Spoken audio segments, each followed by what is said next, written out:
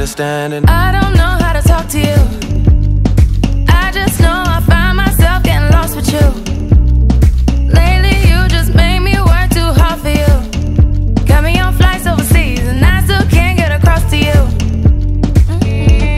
And last night, I think I lost my patience.